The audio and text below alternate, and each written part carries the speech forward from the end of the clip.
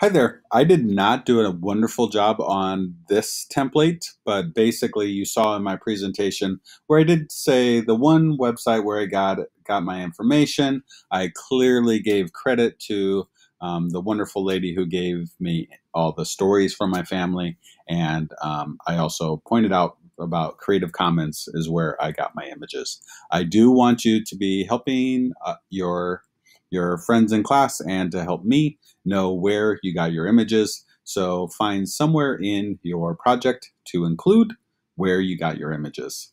And if you got them from Apple Keynote emojis or shapes, you do not need to give credit, but it is nice to just have one line that says images from Apple Keynote.